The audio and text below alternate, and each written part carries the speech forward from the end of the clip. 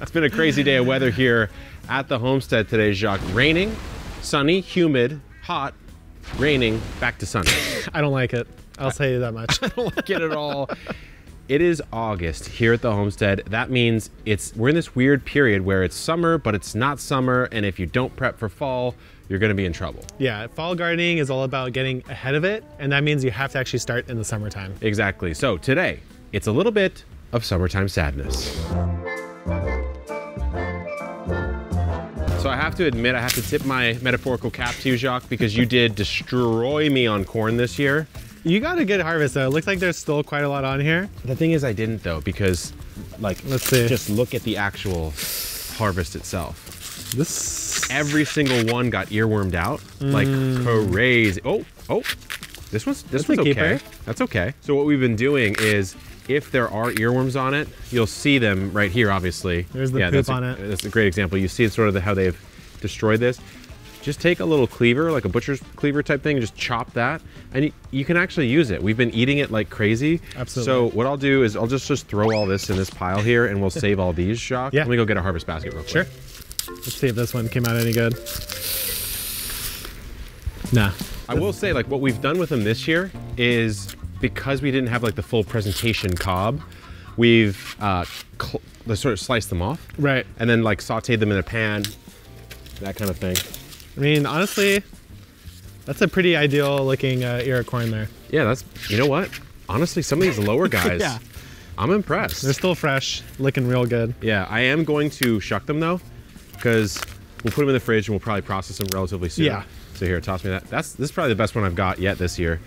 Last year, we did the amazing maze maze, and we actually got a lot of corn, but a lot of That's it was true. like dent corn, right? So we made the cornbread and stuff. But you, you this year, Jacques, have had a really bumper crop of corn. I feel like, right? Yeah, I've harvested at least 30 fresh eating ears, Yeah.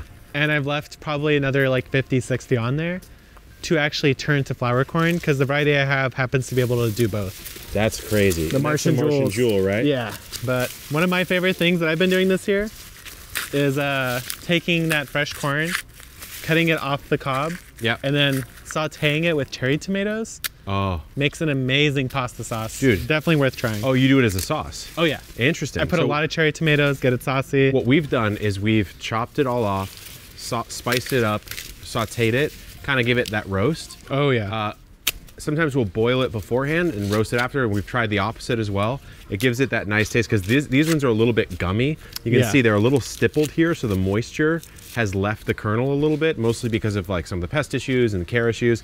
So it makes them a little chewier. And then we find that doing that little boil Mm. helps. What do you think contributed, Jacques, to your bumper crop this year? You just had such a vigorous growth right out of the gate. So what I did differently this year is I direct seeded it. Yeah. Um, I planted it kind of in deep channels, and then I watered it extremely heavily, yeah. like way, actually way heavier than I intended to because I forgot. I turned the sprinkler on overnight. How deep do you out. think you you bury them? Um, Like an inch? probably like an actual full inch. Yeah. Like I, I dug a trench and then I mounded it. And not only that, but it, it actually grew really early. Like I feel like I was ahead of a lot of people than what they expected. This one, But no fertilizer. Hold on. The chickens need this one. I, I can't. be, I can't be saving this decrepit piece of trash. Butter, little treat. They'll go wild for that. Come on in, guys. It's been a while. As you can see, this has been hung, hung up for the season, but I'm really excited because the hens really love this. It was so funny the first time that we set this up. We screwed in an ear of corn. We were so excited to see the hens kind of go for it, but they got scared because their pecking causes it to move, and then they got scared of their own movement that they caused. So it's like they couldn't put together the fact that they did it. But I think they've learned now. Rufio, you're ready? You ready for it? Let me move out of the way. There we go. There we go. Nicely done. I feel like Rufio's the alpha now. That's like a $3 modification you can do to your coop that your hens will absolutely love, so give it a shot. So perfect world, Jacques, we would chop this down a little bit Yeah. because these actually make fantastic green additions the second you harvest them. Uh, but we'll probably save that for later because I got a little treat I want to show you in the front yard. Oh, Something Okay. a little, little, little special. I'm not mad at that. All right, we'll leave that there for now. Break that down. Oh man, I don't even want to look at these tomatillos. There's too many. There's so many. There's too many. Before we get to the front yard, I want to introduce you to a new friend of mine, someone I've become acquainted with, Jacques, and you as well. Say hello to Craig Pucci Johnson, the Atlantic giant pumpkin that we're growing here at the homestead. I would say, what do you think, Jacques? I say I was gonna guess somewhere between 30. To me, that's at least 20, if not like Okay. 25 to 30. It's hard because the volume of it, Yeah. right? But And here's a scale bar. here's our scale. So about 10 days ago, it was smaller than this, which is absolutely insane. But Jacques, you just finished up some interesting tactics to help it grow. Exactly. You need to basically turn every single function of this plant into an energy absorber and concentrator into Craig Pucci Johnson, the giant pumpkin. So what Jacques just did is he buried all of these stems because they can produce roots. I've put down this platform with fine, fine playground sand to provide a little bit of weight distribution so it's not gonna collapse on itself. Obviously it's under a shade cloth. We give it 50 gallons of water a day. We fertilize it every day. crazy. So this is definitely a little out of the norm for the way that the homestead works, but we're going for numbers here. Yeah, You know, We're- exactly. We're, going for numbers. Redemption. I'm on, I'm on the downslide myself. I don't know if you've noticed. Maybe you have, but I'm on a fitness program right now. I've dropped 11 pounds and it's gained 11 pounds. I think we have some sort of symbiotic, you know, sensual, you know, Oh. intimate relationship where I lose, it gains. I don't understand. But You did pollinate it. I did pollinate it. And my, and my goal here is to actually weigh less than the pumpkin by Halloween. So we'll have to see, Jacques. I don't know. What do you think? I'm excited. I think I think you could pull it off. I think or we- Craig Pucci Johnson. So speaking of gourds, there's a few in the, in the front yard, Jacques, that are actually really crazy. this looks new. It is new, in fact. Yeah, my girlfriend bought a orange bougainvillea, which we put there, and the idea is because this chimney is capped, you can't use it. We'll use the same anchors we used on the recent grape trellis we built, Jacques, and we'll kind of train it up to sort of take that over. I've always so liked cool. like the English homes covered in ivy, but maybe not with the ivy because that's pretty Yeah, it's pretty bad. I've in my garden. But check, take a look at this. These are the Van Gogh um, Fantasy sunflowers. Ooh. Yeah, exactly. Mine, mine is about that size too, and I'm really excited to see it bloom. I can't wait because that's one of the rarest sunflowers you're ever going to see. Sunflower Steve, who's a friend of Epic, he gave us some seeds. Yeah. Uh, the seeds that sold out in like eight seconds, I think, something like that on his store.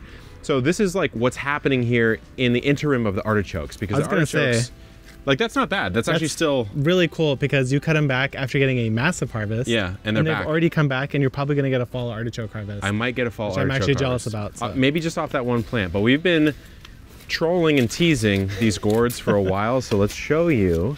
Let's show you the mayhem. Actually, so have you ever grown these? I have yourself? not. I have not ever grown them. I didn't think they would look as cool as they did. And uh, Jokes on you. you've got quite a few birdhouses here. Well, here's a question I have: Is I think like perfect world, you would let this plant completely die back before you harvested.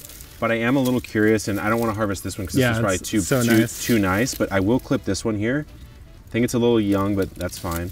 yeah, so- I think the stem should be fully like corked and brown. Should, should be dry. But it's close. Yeah, it's close enough. What, what I was told by someone on Epic Homesteading on Instagram, they were like, well, you can actually eat the birdhouse gourd. But if you can indent it, you can eat it. If you can still indent it severely, I can just damage it like with Yeah, finger I don't think it's still a little bit it's eatable. It's, still a little bit too too young for the birdhouse level. It's also too old for eating. So this is like Yeah. perfectly suboptimal, I guess. but uh, this is kind of one of the weird things about the homestead. I think this year is I'm leaving a lot of stuff to sort of dry itself, which means that the garden like looks worse. aesthetically it does not look yeah, as good. It, it looks worse, but it's kind of part of the game. And then we planted together, I believe, these gourds over here, oh yeah, which this one, what was the name of it again? I think it's like a Corsican Corsican? hard gourd or something. Yeah, this one's sick because you can basically cut the top off and like make it into a bowl and like carve patterns in the side. But you were looking it up, and it seems like the rec is what to leave this for a while. Yeah, you basically want it to be like entire like the main stem should look like this. It should Yeah. be entirely brown. and it's not close to that yet. So that means the plant is technically still alive. We can see there is a little last. I think that one is actually a bonus loofah. It is might. that It might be. actually no. I don't. I can't tell. But anyway, Either way, a like, little bit of time. look at this one though. Holy, these are hanging heavy. That's my kind of bowl right These there. These are big bowl of pasta. Big old bowl. You know what? Pasta, homegrown wheat pasta. In your own homegrown bowl. In my own homegrown bowl, coming up soon here on Epic Homesteading. to me, I think I took a lot of inspo from your own garden this year. As you can see, my garden looks a little more like your garden this year than it did in years Yeah, prior. looks a little sure. more dense and It's, like it's way uh, more dense, and then look, look at um yeah, as evidenced by the Bermuda grass everywhere. but like, look at this. Like, I've got these Thai chilies, I've got shishitos, there's zinnias coming through, right? And then on this other side, more bonkers. One of your best tomatoes. Yeah, one of my best tomatoes, my garage floor tomato here, that just is completely disease free, completely pest free, on the floor, no water. Falling around. Like it's uh, it's honestly, I put, put a story up yesterday. I was like, it's so disrespectful because no pests, no disease, no water, no fertilizer, no pruning, incredible San it. Marzano tomatoes, and I didn't even plant it.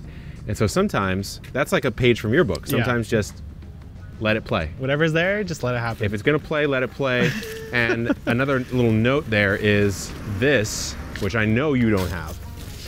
I definitely don't have anything uh, close to that size. Look at this.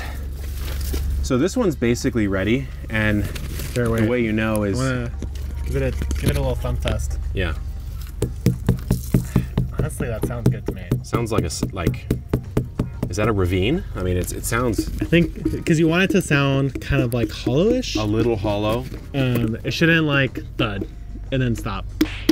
Yeah, That vibration. Do you feel bounce- that that bounce, bounce back? back. dude? that's The a recoil, bite. as they call it on TikTok.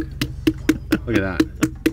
Okay, well, this is not going to get harvested today. No. You're going to have to stay tuned because this little sweet baby, I got to make sure I make something really good with it. What I've been doing since I'm on the fitness plan pops, fruit Ooh, pops. watermelon pop. No sugar, watermelon, lime, Greek yogurt, mix it all together, freeze it. Maybe do that with berries as well. That's a real treat. That's a real Actually, it sounds really good. Because I haven't had sugar in like 36 days. Wow.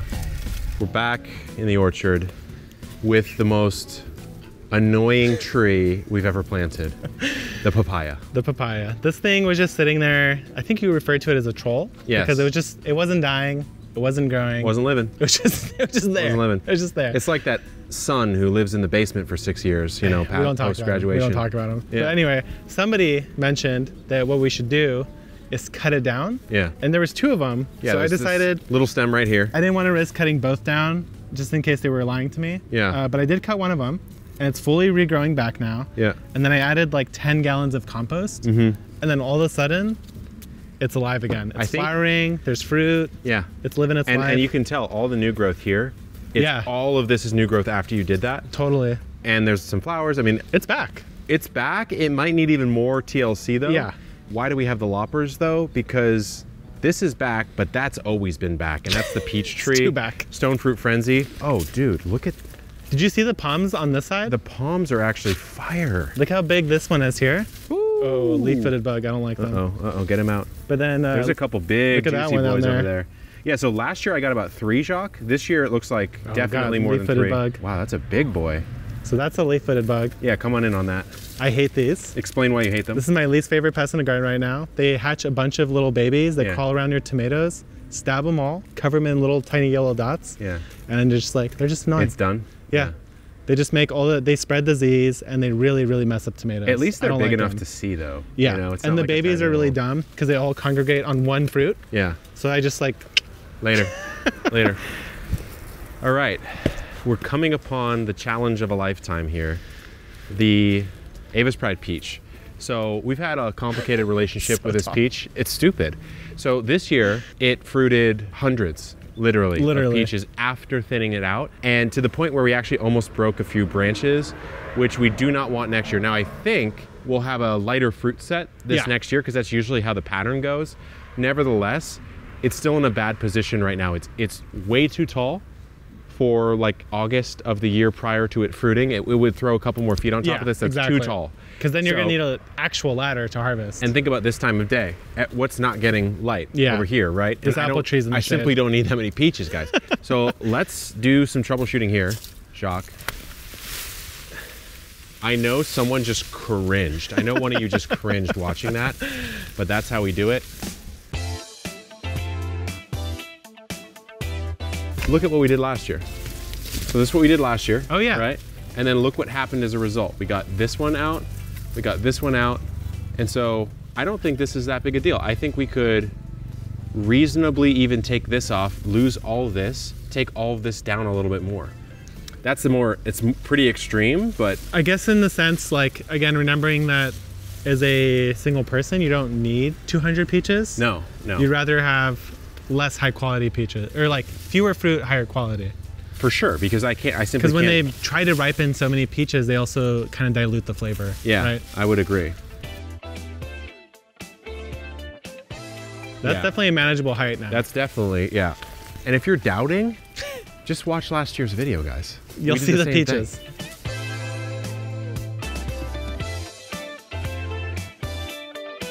So, Jacques, it's been a manic season, ups and downs, but I think you can tell that the homestead's come a long way, and that's what the Epic Homesteading book is all about. Pre orders are up now, it's out in spring, signed copies, plus a pack of Botanical Interests seeds, and a teaser, Jacques, for something that he might not even want to share. But Jacques may or may not be coming out with his own book in what, a year? Probably at least a year. At least a year. So subscribe to his channel too. We'll see you next time, guys. Good luck in the garden and keep on growing.